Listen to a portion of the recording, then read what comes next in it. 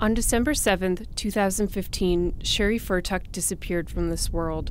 It was an ordinary day. She had lunch with her mom on the family farm, and then she drove her semi truck back to work at the gravel pit, just as she had done so many times before. Sheree was a reliable woman of routine. She had plans after work, but she didn't show up.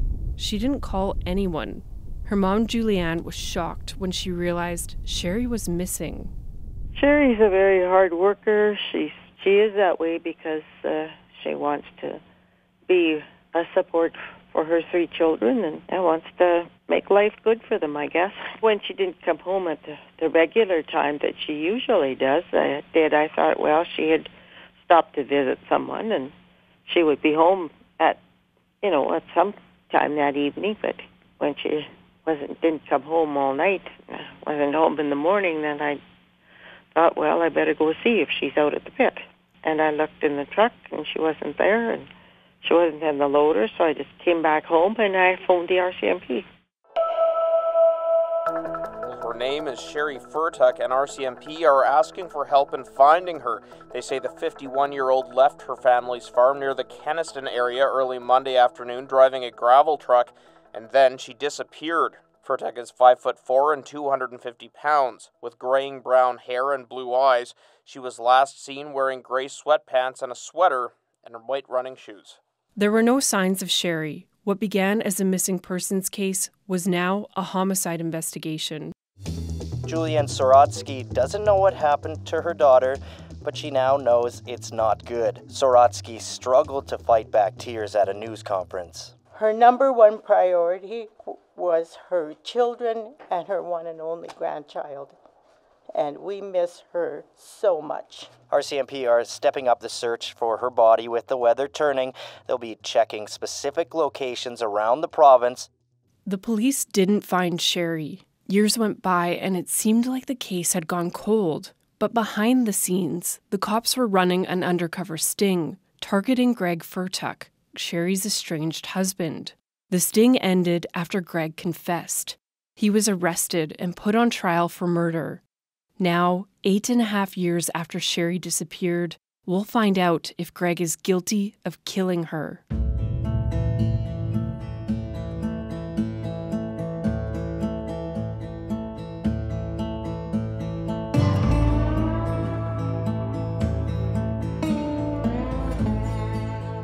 I feel compelled to be there kind of for Sheree. Like, even though she's not with us anymore, she still deserves our support.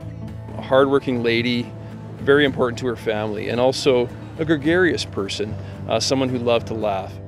This was very difficult on our mother, and um, she's not here to hear the final verdict and, and the sentencing, but um, it's, it's important for our mom. It's always such a powerful moment in court when uh, he asked Greg Fertuck to stand, told him to stand. I'm Kendall Latimer, and this is episode 16 of The Pit. People close to Sheree have waited a really long time for answers.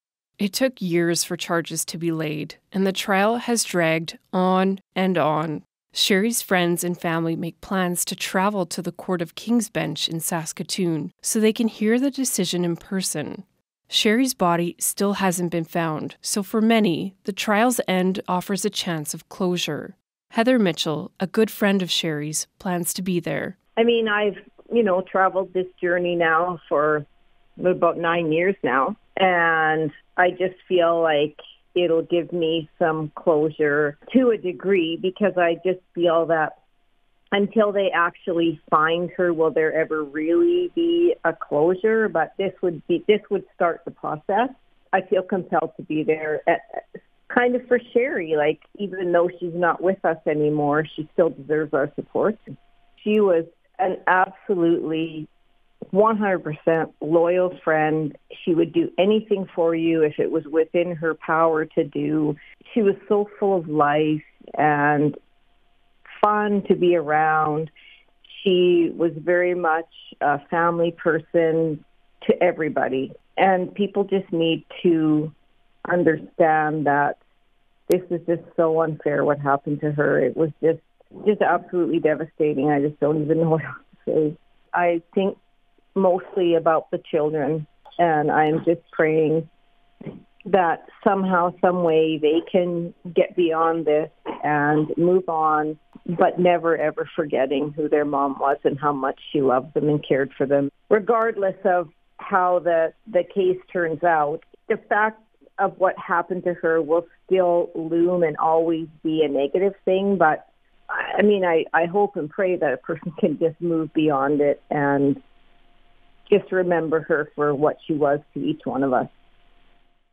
This trial has had an unusual amount of delays. Many of them were caused by the defense and by Greg. And just days before the decision, Greg makes a final attempt to delay the trial. He files two applications with the court. He wants a mistrial, or if that doesn't work, the chance to call more evidence about the gun. Justice Richard Danyliuk calls an emergency hearing five days before the big day. My colleague Dan Zakreski was there, and he reported on what happened. Fertuck backpedaled on the mistrial application when the judge asked him to explain why he wanted a mistrial.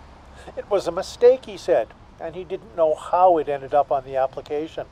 A farm couple discovered the supposed murder weapon underneath a granary west of the city. Fertuck says it's not rusty enough for a weapon left outdoors for years. He wanted scientists at a new ballistics lab in Saskatoon to examine it. Fertuck tried to withdraw that application when he found out that the lab staff are not trained to analyze rust on metal and that the lab doesn't do private work for individuals.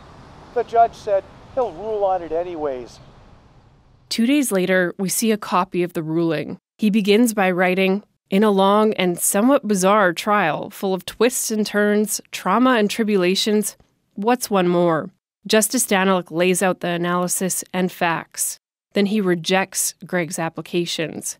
He says they have no basis in fact or law. They were ill conceived and without legal foundation. With that, Justice Danyliuk's decision is going ahead. And on June 14th, 2024, it happens. There's standing room only in the courtroom. Greg is still acting as his own lawyer on this case, but today he sits in the prisoner's box. The room falls quiet as Justice Danyliuk takes his seat. He has an 87 page ruling this, and his earlier decision on the voir dire, is his final word on the matter. In court, he shares a summary, and he doesn't hold back.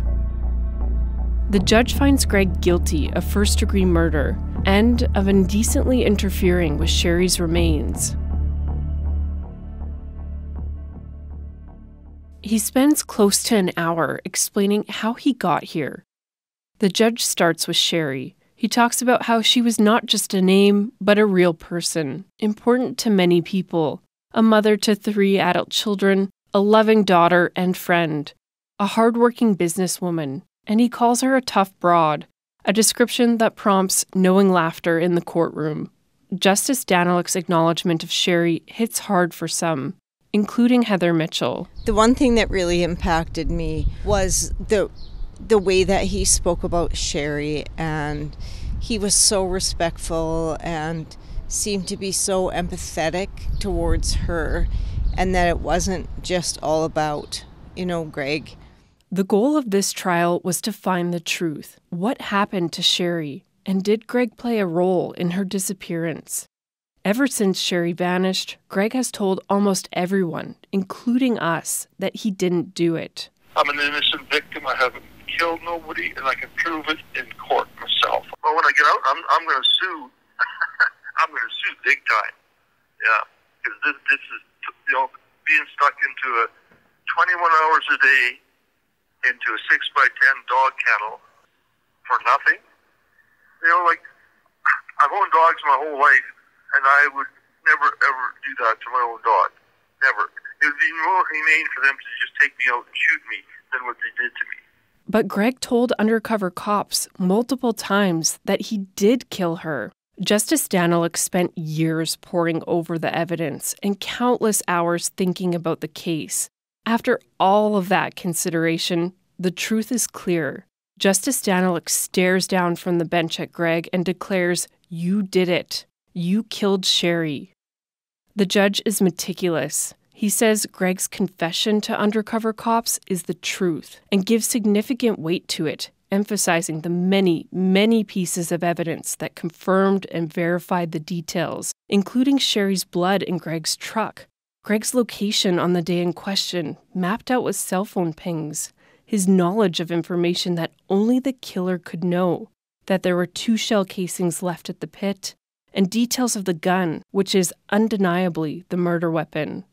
Justice Danyliuk debunks the defense theories that came up throughout the trial. The idea that the cops ignored other suspects, or that someone else killed Sheree. He says there's no evidence of that, nor is there evidence before him to back up Greg's accusations of corruption, or the idea that Sheree faked her own disappearance. The judge says those theories were not based on fact or rooted in reality, and that Greg's own cross examination of witnesses was inept and pointless.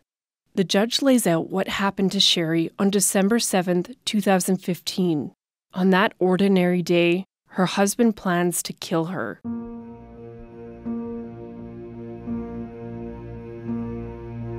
Greg drives from the city to the gravel pit. He wants to talk to Sheree about property and money, but he's got a gun with him. It's an untraceable, unregistered Ruger 1022 and he also packs gloves and a thick plastic tarp. Greg parks out of sight so he can take Sheree by surprise, and when she's back from lunch, he confronts her. The conversation doesn't go Greg's way. He has a choice. Greg can retreat and let Sheree live, but he doesn't leave the pit. He walks to his truck, grabbing his gun, and then he goes back to Sheree, shooting her first in the shoulder and then he repositions, walking behind her so he can shoot her again, this time execution style, in the back of her head.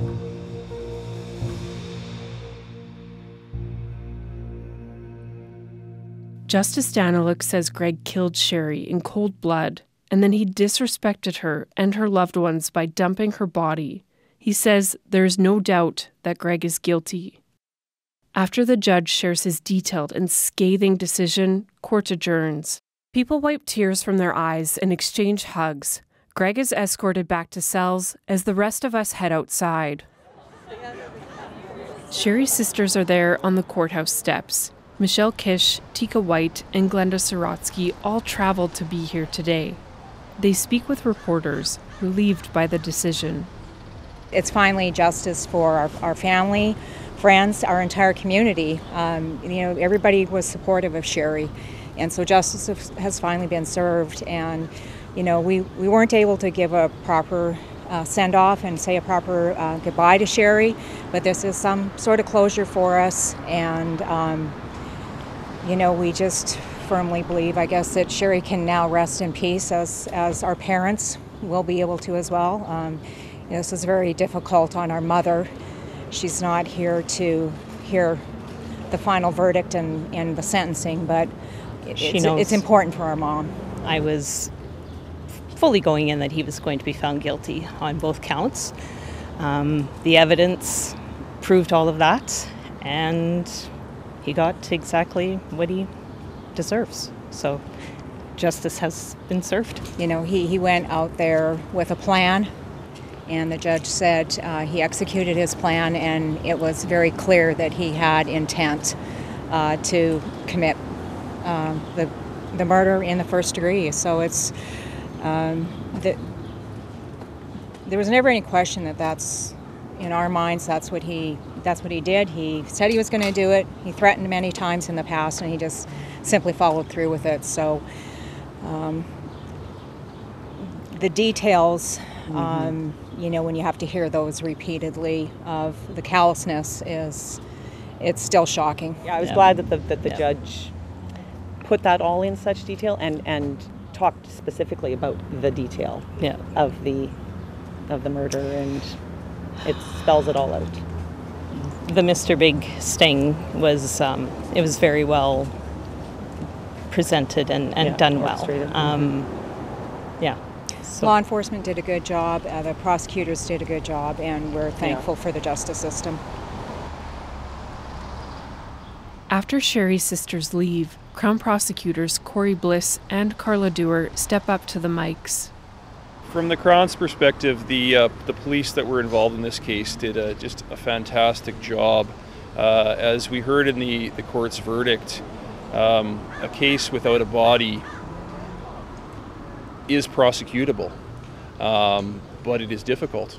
And uh, the, the, Crown gives uh, many kudos and respect to the police involved in this case for for digging deep and for producing that evidence uh, before the court. And as well, I think for not for not letting go of the investigation um, in order to um, become involved in a major crime technique such as this one.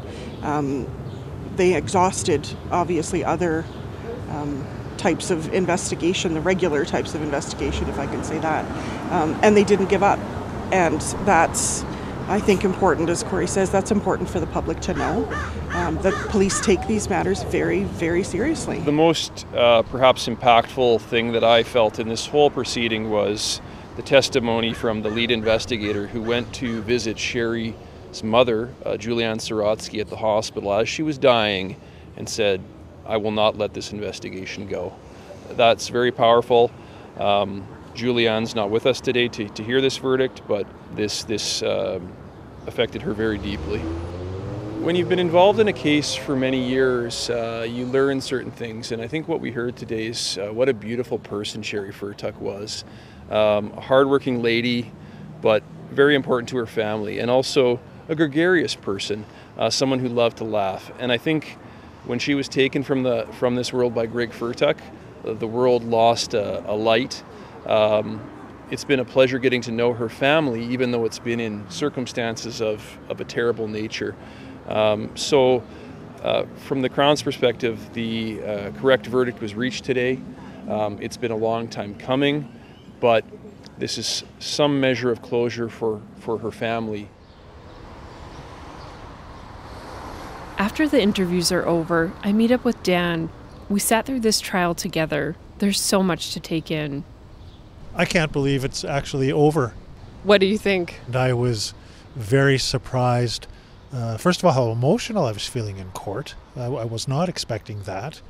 Uh, and just how impressed I was by how it was just such a methodical judgment. He just went through it mm-hmm. And, and covered off all of the points that uh, I know we had been talking in advance about, uh, you know, the big discussion is, is it going to be second degree or first degree and, and what the elements were and how he just satisfied all of them and, and brought up stuff that I had forgotten about. You know, the role, uh, the absolute importance of having found that murder weapon. Like this is when you don't have the, the victim's body uh, whatever forensic evidence that's there is so critical. I thought it was so interesting to hear Justice Danyliuk lay out how much he believed and was convinced by Greg's multiple confessions to the undercover officers, and how he found that that's when Greg was actually being truthful. And in court, when he was like, just watch, just watch the undercover confession to the boss, watch how quickly Greg seeks their help. Watch how quickly he discloses it. Watch how quickly he grabs his walking stick and acts out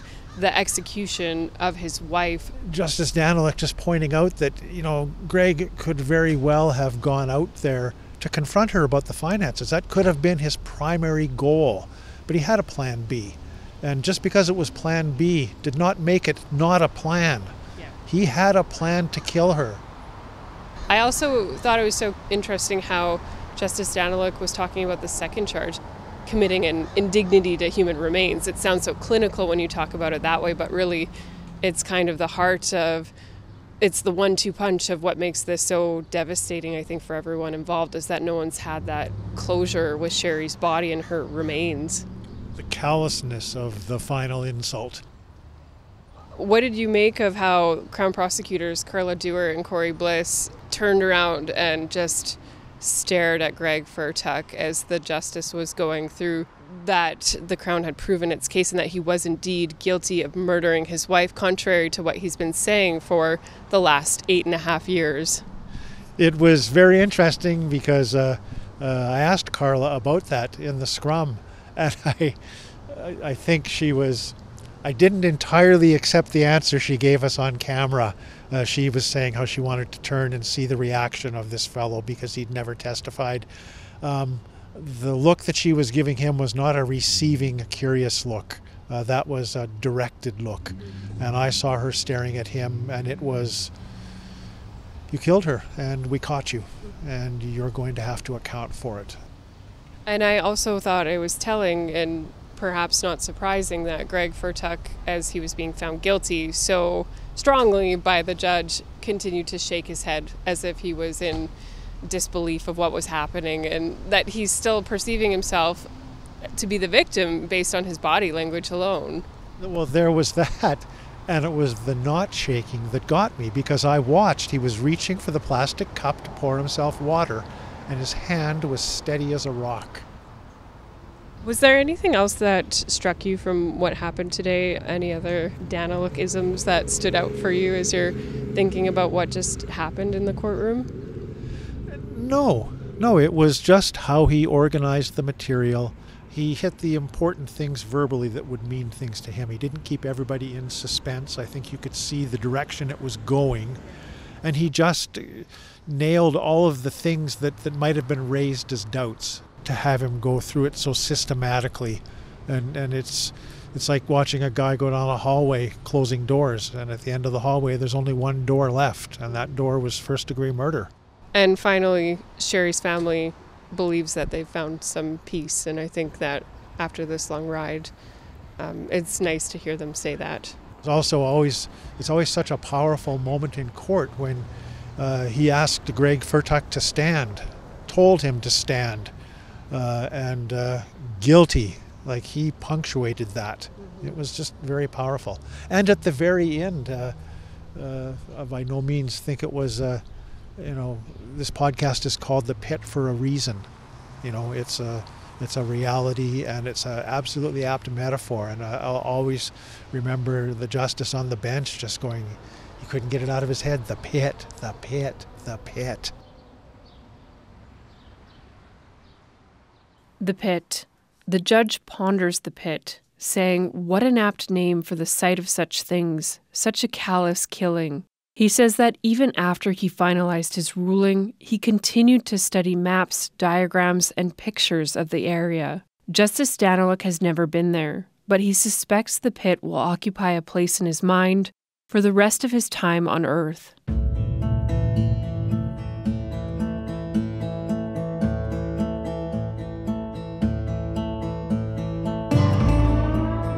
The judge found Greg guilty of first degree murder. In Canada, that's an automatic sentence of life in prison with no chance of parole for 25 years. By then, Greg would be 95. On the next episode of The Pit, we talk about what's next for Sheree's loved ones and this case. Could an appeal bring Greg back into the courtroom? Could Sheree's murder have been prevented? If Sheree had come to me, I would have been extremely concerned for her. I would have suggested that she probably relocate for her own safety. I would think that there are countless grounds of appeal. So there will be questions to be answered in the future. I still am trying to keep her alive in my memories and just as best I can. Like, I don't like to think about her as a murder victim. The Pit is a CBC investigative podcast. This episode was put together by me, Kendall Latimer, and our senior producer, Corrine Larson. Editorial guidance came from Paul Dornstauder. You can get in touch with us at the pit at cbc.ca.